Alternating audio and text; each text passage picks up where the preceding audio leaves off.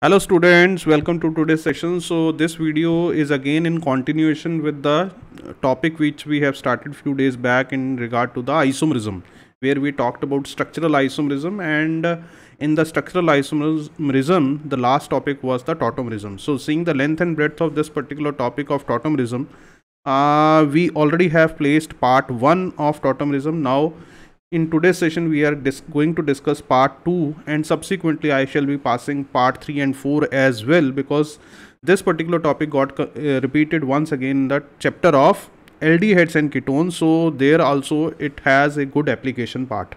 So what's the objective of today's session is first we would like to understand uh, these two things we already have done in the topic of uh, in in the part one that is tautomerism and different types of tautomerism but those who are joining me first time i just would give you a little bit of recall in regard to this in 2-3 minutes. Basically, what is the endeavor of today's session? We will be addressing ketoenol tautomerism in detail, stability of tautomers out of the ketoenol, which is more stable and why, and how percentage enol content can be checked conceptually. And lastly, we will be seeing the reaction based on individual uh, function group as keto and enol. So these are the things which we are going to address. Let's go directly into the discussion. So as regard to the tautomerism, as I said in the part 1, that if you have a some functional group which is having a multiple bond along with polarity, uh, where y is more electronegative than x and this type of a function group is attached to a carbon which is of the nature of sp3 and it is containing one hydrogen atom which we refer to as alpha hydrogen atom because it is present on a alpha carbon so this particular hydrogen has the tendency to move from this side to this side because this is delta negative this is delta positive and this uh, this sort of uh, functional isomerism shown by functional isomerism shown by these uh, compounds is called as tautomers so basically if i would say that this particular hydrogen has the tendency to go back into the this form as well. So this hydrogen has the uh, you know it keep on fluctuating from this side to this side. So the, these two individually we can say these two are functional isomers but these generally would not be isolated in the sense that they are in always in equilibrium with each other. Similarly if i would place this here this goes here this goes here keeping y more electronegative than x then what next structure do i get here is of the nature of this type so based on this structural feature, we, we already have placed the part 1. Let me give you a little idea, just like if you have a carbonyl group attached to a alpha carbon which is containing one hydrogen and this carbon must be sp3 so this hydrogen can move to this side because you have a multiple bond and along with that there is a polarity in the bond. So here what you would get a double bond here you would get OH so this is called as which we are going to discuss in length in today's class is ketoenol tautomerism Similarly, if this is delta positive, this is delta negative and uh, same viewpoint we can take it here also. So here you get the double bond and here you would get OH. So this is of the type of nitroso oxymato tautomerism which we have already discussed in the part 1 so you have to refer to that one similarly if i would move to this part delta positive delta negative here again it is sp3 and alpha hydrogen this hydrogen has the tendency to go to this side as a consequence you would get a tautomeric form of this nature. Here you would get a double bond. Here you would get one hydrogen. So this is imine and here you tend to get a double bond and onto the double bond there is a amine. So imine enamine tautomerism similarly you may go to this type of thing cyano and this bond goes here this goes here. So this resulting in a this type of a species so this is some of the tautomeric forms which we have already done. Now going into the details of ketoenol tautomerism as I said in the part 1 as well. So if you have a alpha carbon, so what is alpha carbon? Alpha carbon is the one which is directly attached to the functional group. Here the function group is a keto group. And now if I would place one hydrogen here, so this is this hydrogen I am referring to as alpha hydrogen. So here you have two alpha carbons two alpha carbon atoms and uh, you have six alpha hydrogen atoms. And all of these are chemically identical of same nature now the what the point is as i said in the previous slide as well this is delta positive this is delta negative. So this hydrogen has the tendency to go to this side. So this bond goes here this goes here. As a consequence here comes the hydrogen. So here you have to uh, have uh, obtained a structure that is ene and ol so this becomes a keto-enol tautomerism as i said many times that uh, these two if i critically would see these are functional isomers. But they are always in a uh, uh, functional isomers. They are always in a dynamic equilibrium with each other. That's a different story. Who would have a greater percentage? That's a different thing but they always would uh, you would if if i would say this is acetone if i have a bottle of acetone all the molecules of acetone would not be in this form. Some of the acetone molecules would be in the enolic form. And similarly if you have this particular compound named as 1 2 3 prop uh, 1 in uh, 2 ol all the molecules of this compound would not be in this form. Some uh, some of them are in the form of keto group or as acetone. Now here in today's class we are going to address this point that which would be more stable. So generally we say that keto form is more stable. This is this is more stable than that of enol primarily because of the fact that um, uh, if I talk of uh, double bond CO double bond versus C double bond uh, C the bond energy of C double bond O is more as compared to C double bond C principally because of the greater bond energy of C double bond O. Here if you would see uh, a fact uh, uh, taken from the uh, here you could see the greater stability of keto form here it is being marked here uh, greater stability of keto form than any carbonyl compound is because of the fact that the carbon oxygen bond is stronger than that of carbon carbon pi bond. And here if you could see aldehydes uh, in the case of acetaldehyde it is almost 100% very less percentage of enol is there. And acetone less than 1% is enol and cyclohexanone again. So in general when you talk of keto forms keto form are generally more stable as compared to uh, as compared to the uh, enolic form. This particular thing we have taken uh, from the uh, book of solomon. Uh, very interesting book of organic chemistry which uh, has endorsed this data that keto form is generally more stable that than that of enol form now coming on to the fact that how could you increase uh, if you have a keto form versus enol form there are some cases where enol tend to get predominated. Cases in which enol form predominate are first case is the case of activated methylene. Now what exactly do I mean by activated methylene? So here if you have a simple aldehyde or a ketone this is a alpha carbon and the hydrogen attached is here is alpha hydrogen. Whereas if uh, this particular carbon on both sides if you have two CO groups as a consequence of these two CO groups these are two electron withdrawing groups. So a fact of the matter is that if I just would write the pK value of a given aldehyde or ketone it ranges between 20 to 18 to 20 whereas in the case of activated methylene what is methylene? CH2 group is methylene.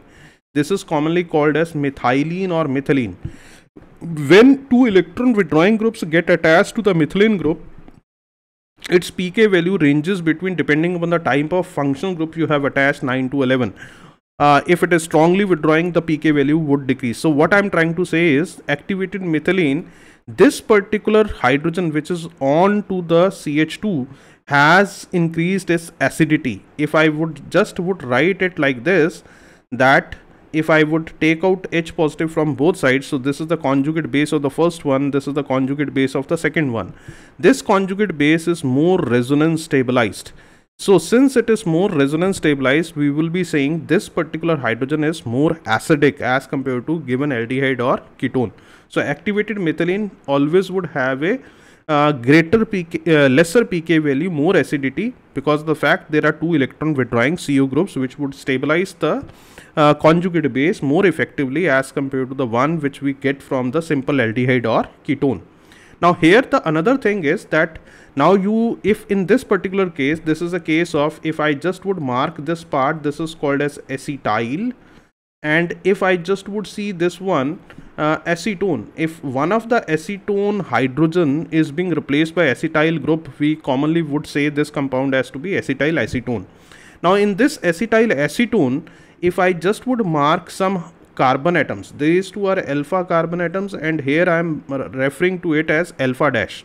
So there are two alpha carbons which would contain six alpha hydrogen atoms which are identical in nature. All of them are of same type. Whereas there is one alpha dash carbon which contains two alpha dash hydrogen atoms. Now these are more acidic these are more acidic as compared to the previous one.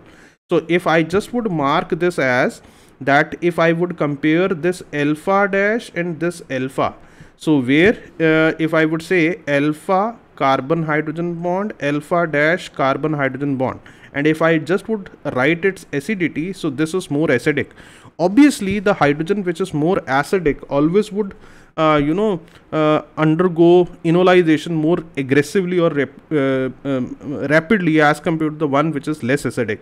So as a, a result of that what we would see that this hydrogen would undergo tautomerism.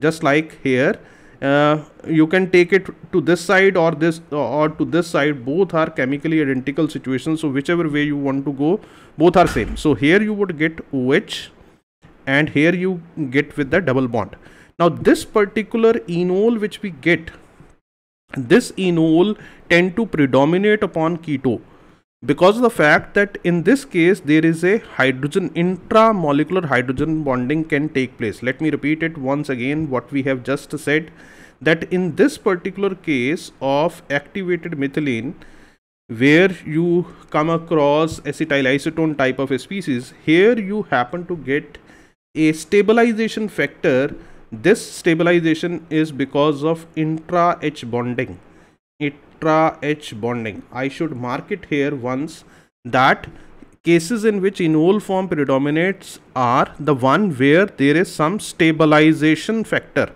Stabilization factor in enol. Whenever there is a stabilization factor in enol, it tend to bring in more uh, speedier enol content as compared to the keto form. Here many of the books write it is almost greater than 70% um, or 76% if I would uh, say almost around 76% and this is almost about 24% but in the exams we, we would not be uh, going to see exact percentages would not be asked so you would be uh, taking into consideration only this factor this is major this is minor. So here what you have found is that um, the enol content got increased as compared to the keto one. Let me take one more example. Here the point is that although you have here is one alpha and this also is a alpha dash if i would say. This alpha dash uh, is a sort of activated methylene because both of the sides you have a co group but here the point is this is coming from the keto part and this is coming from the aldehyde part. So here you end up getting two types of enol content. One you can get from here. The one if if i just would uh, mark it uh, once again uh, showing you the hydrogen as well. Here is this hydrogen. So this hydrogen can move to this side as well like this or this can also move to this side as well. So there are two types of enol uh, possible. One enol which you can get here is of the type this way which on this side double bond and this the H would remain as such and CO and another one which we have marked with the green marker. So the another one which we may get here is OH and here you have a CO and in both the cases what you are able to see here is in both the cases there is intra H bonding possible. Intra H bonding possible. So this also can be possible this can also be possible. But as long as something is not uh, categorically said about the fact that uh, in what condition what reaction is it taking place in acidic basic medium high temperature low temperature we generally would say that the one which is more stable would be uh, taking um, um, would predominate upon the other so here we will say this is more stable why is it more stable? Because of the fact it would have more HYC, hyperconjugative hydrogens. So because of the extent, uh, more hyperconjugation, because of this double bond, because here you have these hydrogens as hyperconjugative hydrogens which are 4 in number here you have only 2 so we would be saying this is major this is minor and out of these two i shall be saying that this would be in greater quantity this is in lesser quantity and this is almost negligible. So it is almost less than 1% so Um, around 1% it would be possible. So this is the way you have to identify the fact that what tautomeric forms you can get from the activated methylene and which among this would be more stable. When you have to talk about the stability you have to consider the thermodynamic stability which would come from the fact that which would have a more substituted alkene or more hyperconjugative hydrogens which would have the one which would have more hyperconjugative hydrogen would be more stable now another thing which you always have to mark that enol content uh, percentage enol content in a activated uh, methylene uh, changes with now here the point is that if as I said that the enol content tend to predominate upon keto when there is some stabilization factor like in the previous case that there is a hydrogen bonding but solvent do also play a role. Now if you have a polar solvent polar solvent like water polar solvent tend to decrease enol content whereas non-polar solvent non-polar solvent like chloroform or CCl4 this tend to increase the enol content. The simple fact of the matter is that if you have water type of a species, water would want to uh, you know be, being polar it would it would bring its um, uh, uh, positive dipoles around the keto group. So it would stabilize the keto group more effectively with its uh, solvation because the delta positive of all the hydrogens of the water try to stabilize the CO group. Whereas when there is a polar solvent, because we just would want that enol content to have intra-H bonding if it has to predominate. But if you have uh, polar solvent, polar solvent tend to break these hydrogen bond and would try to bring water molecules more close to the CO groups. So if CO group if CO group tend to get more of water around it and resulting in more stabilizations, then the enol tend to shift into the keto form. So make it a point, if in case something would be asked in regard to the enol content, the enol content tend to decrease with the polar solvent. Polar solvent tend to decrease whereas non-polar solvent tend to increase. Second is the temperature. When you have a high temperature and low temperature, Low temperature increases enol content because the hydrogen bonds would not break. High temperature tend to decrease enol content because in that hydrogen bonds get broken with high temperature whereas CO group would not be broken. So this point you always have to uh, remember. So this again is a uh, data taken from the Jerry March uh, uh book of organic chemistry which categorically show that in general aldehydes and ketones if you have a simple one CO group a compounds with one CO group the enol content is very very less. But in the case of activated methylene here is the acetyl acetone. It becomes 80 and this 80 percentage can be decreased and increased with the uh, nature of solvent and the temperature. So this always you have to mark it and similarly if you would bring ph group phenyl group instead of this methyl this further increases because of the fact there is stabilization coming because of the fact that there is phenyl group which would bring in resonance. What i am saying is that if you have a phenyl group here in the activated methylene they are saying that the percentage enol content further get increased because of the fact here uh, you know uh, the there is double bond uh, which is in conjugation with CO group and this would tend to increase the enol content into the system. So this also you always have to keep it in mind. Second case is if in case there is stabilization because of the uh, aromaticity attainment in a um, enolic form. Just like in this case that if this is the hydrogen this is the alpha carbon which is sp3 and this hydrogen if would move like this what you basically would get here is phenol. And uh, the common name which we used to write is ph this is enol. Basically it is enol so phenol.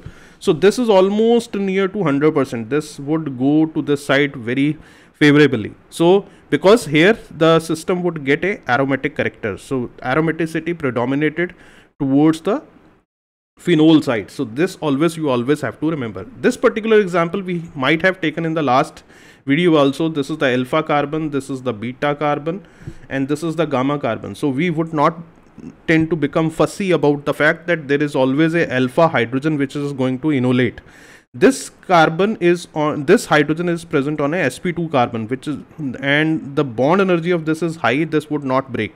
So in fact in this case if i would break it and do the uh, sort of uh, enolization then I may get a double bond here and this would be highly unstable because this carbon has become sp and this always would want to become linear and this bond get broken. So in fact here in this case it is the gamma hydrogen which undergoes enolization this gamma hydrogen on enolization bring in aromatic character.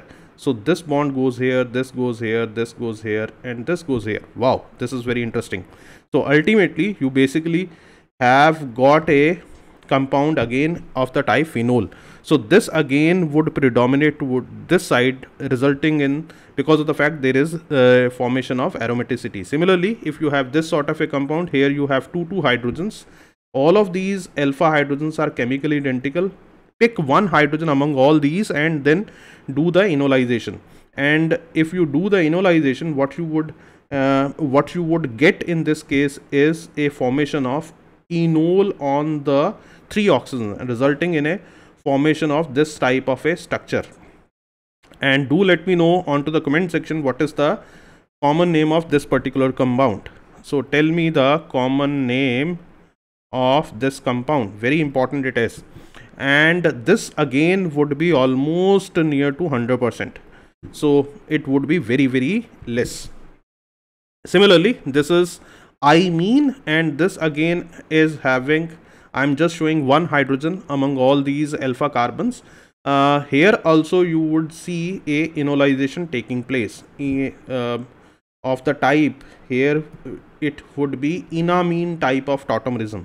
I mean enamine tautomerism. So here you would get a double bond nh2 here nh2 here and nh2 here. So this is one of the case where here why it predominates this is the major one because of the fact it also have brought aromatic character into the compound. So aromaticity brought this equilibrium forward.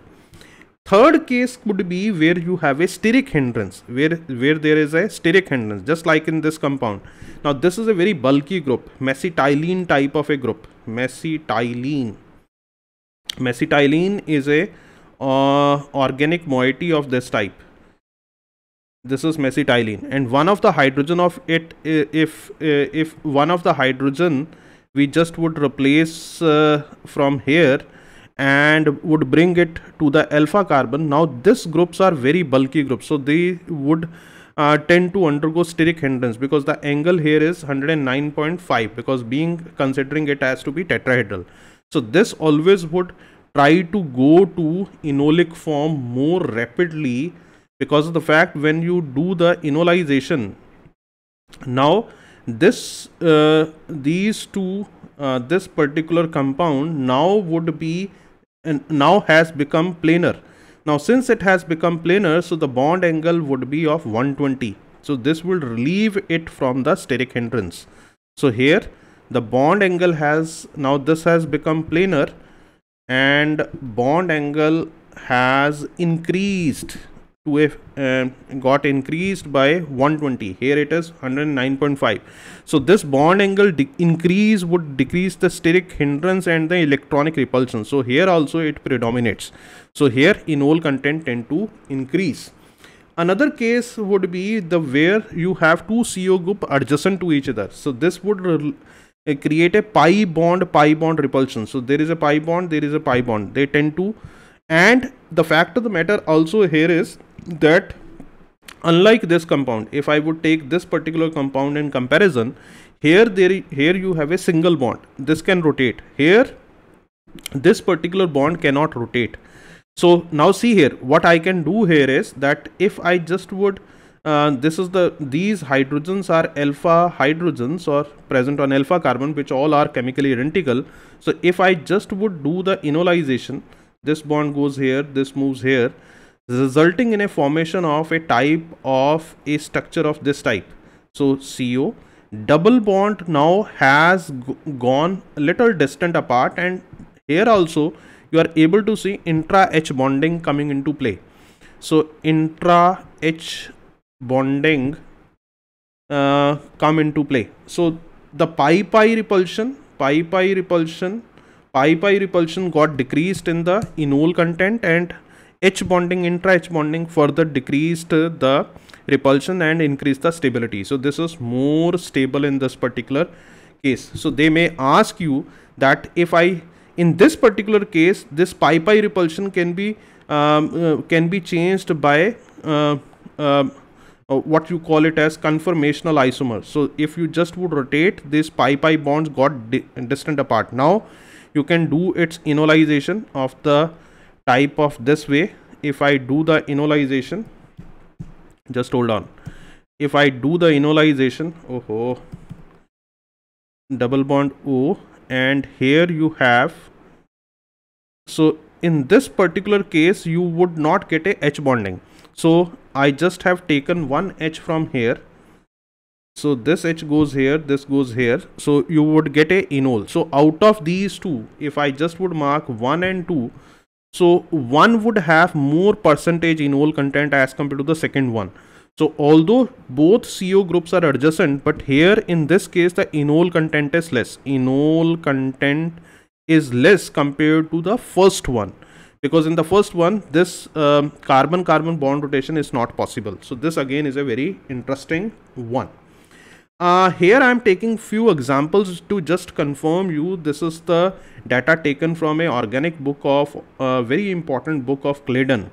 This is a organic book which in fact is justifying the fact that it is lot of lot of i have just taken two or one two example. The book is containing lot many example you can refer to that there are some compounds there are some drugs in which the enol is being isolated. The drug the shelf life of the drug is there in the uh, lab and you could see this particular uh, compound is a once uh, treatment of arthritis this particular drug this is containing a enol and this enol definitely would have H bonding creating here. Similarly, this is a herbicide which is also having a H bonding available with the hydrogen onto this site like this. So it is not that only the keto form primarily um, um, predominate in the equilibria. There are some cases where enol also predominate. Lastly, what we are supposed to tell you about is the chemical reactions. So there are uh, some chemical reactions of the keto group. Keto just to and there are some reactions which are because of the enolic part because of the enolic part the major uh, the important one is the ferric chloride test so uh, this particular discussion you would get to understand better once you have done the topic of uh, aldehydes and ketones and phenols from there you would get the understanding better let me repeat uh, let me do it once for you so uh, keto, so this is sodium bisulfite test where nucleophilic addition tend to happen resulting in this particular crystalline salt. If crystalline salt is obtained, so this confirms the presence of keto group. Although this would be in equilibrium with enol, the enol content is very very less because uh, the enol tend to predominate only in the cases which we which we have already talked about. So again, uh, this is uh, nucleophilic addition this results in the formation of cyanohydrin. If cyanohydrin is being formed so that confirms the keto group. Similarly if in the case of phenol this is a, a ferric chloride test this is the most important test of the test of phenols. And phenol is containing a enolic group. So wherever you have a enolic part available with you enol present in a in a equilibria this enolic part always would give this ferric chloride test. And this complex is having a violet color. Violet color. If violet coloration happens to come or any intense coloration or intense coloration happen to come on addition of uh, uh, ferric chloride to a equilibria that confirms the presence of enol. Or other way around is uh, enol can also be detective from the point that if you just would treat it directly with sodium because in the enol form the hydrogen tend to become more acidic in the sense that it got attached to the oxygen. So since it got attached to the oxygen so this happens to give you uh, evolution of hydrogen gas can be uh, seen. If evolution of hydrogen gas take place because it is highly combustible so this in a way shows the presence of enolic part because the uh, hydrogen which are attached to electronegative uh, heteroatoms tend to come out on reaction with sodium through a redox reaction. And similarly lastly bromine water test can also be a test for detection of phenol. So here if you just would see uh, this bond goes like this and this bond this particular discussion i may take up in the next session as well. In the session of uh, chemical reaction related to the uh, related to the and lastly it undergoes deprotonation and this alpha bromination of aldehydes and ketone. This particular uh, thing we will we shall be doing in the upcoming session as well. So bromine water test here the only endeavor because this i had done in very speedily so these are some of the reactions where you can see the fact that uh, um, um, this particular equilibrium of keto enol can be seen through the chemical reactions as well. Uh, i hope you have understood it.